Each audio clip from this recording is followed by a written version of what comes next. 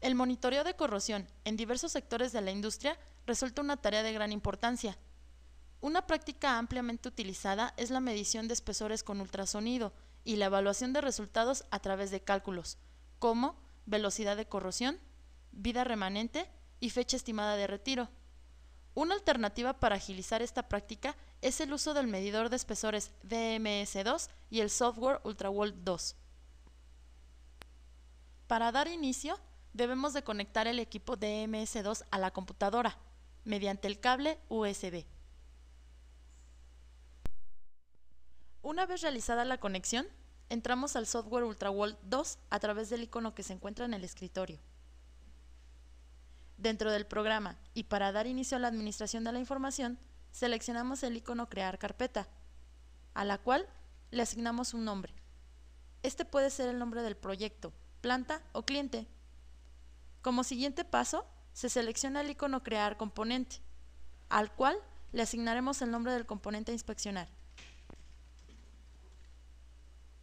A continuación, seleccionamos el icono Abrir archivo, esta opción le permite al usuario generar los archivos que serán enviados al DMS2. Será necesario asignar un nombre al archivo y de forma opcional, información referente a la inspección.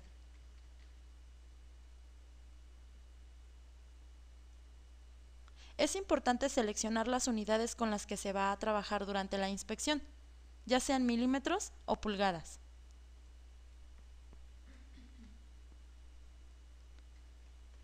En la parte inferior de la ventana encontramos la opción Tipos de archivo, en donde para este caso seleccionaremos el archivo tipo matriz. Presionando el botón siguiente, damos paso a especificar el número de columnas y filas que conformarán la matriz.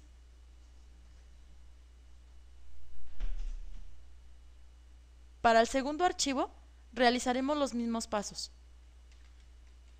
Nombre de archivo, información opcional, las unidades, así como los tipos de archivo.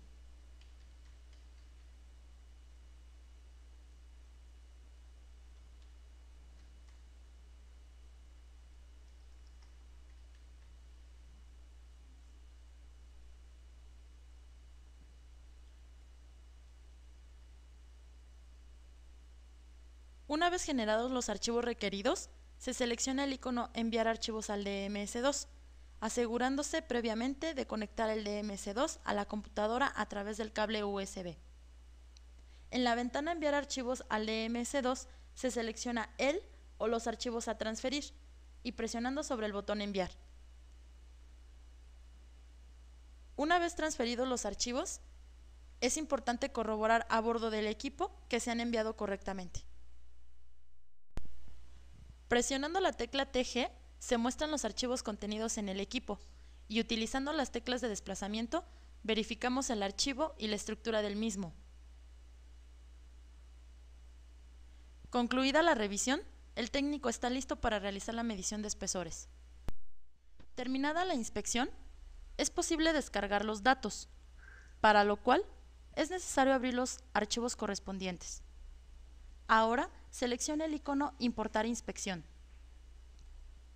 Se mostrará en pantalla la ventana Transferencia de datos, donde hay que seleccionar el equipo y presionar el botón Directorio, mostrándonos así con esto los archivos contenidos en el equipo.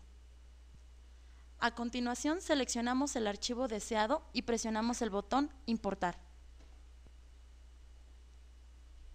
Apareciendo en pantalla la ventana Importar inspección del DMS2. Seleccionaremos la opción Importar en el archivo actual, lo cual significa que las lecturas se descargarán en el archivo que se estructuró previamente. Es importante mencionar que en esta ventana aparece la etiqueta de fecha, la cual debe corresponder a la fecha de inspección. Asimismo, podemos especificar el valor de temperatura de la inspección.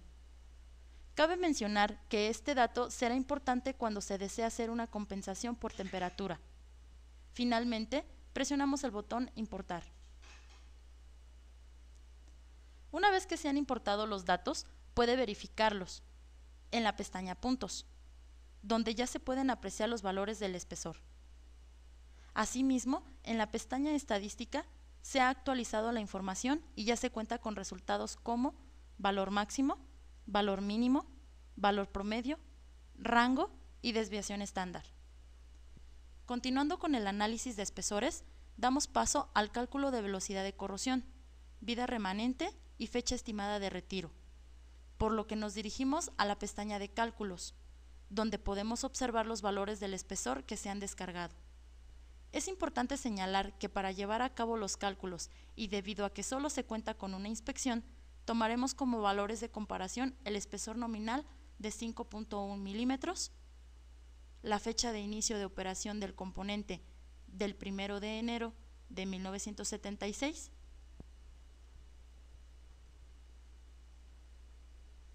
así como un espesor mínimo para los cabezales de 1.37 milímetros. Colocamos la información en cada campo correspondiente y presionamos el botón Recalcular. En cada columna aparecen los resultados para velocidad de corrosión a corto plazo, a largo plazo, vida remanente y fecha de retiro. En la pestaña de observaciones aparece un resumen y los valores más significativos de los resultados, obteniendo así una velocidad de corrosión máxima de 0.0948 milímetros por año, una vida remanente desde la última inspección de 4.85 años y una fecha estimada de retiro del 23 de abril del 2015.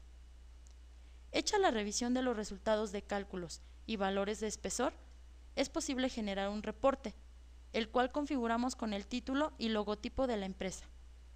Para agregar un logotipo y título de reporte, seleccionamos el menú Archivo y entramos en la etiqueta Datos de la empresa.